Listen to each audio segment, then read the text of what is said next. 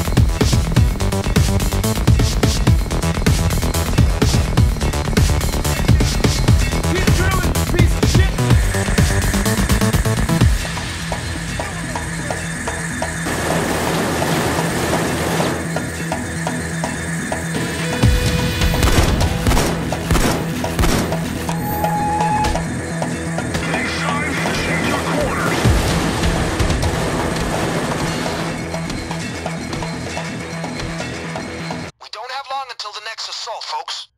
Hostage rescue units are going in.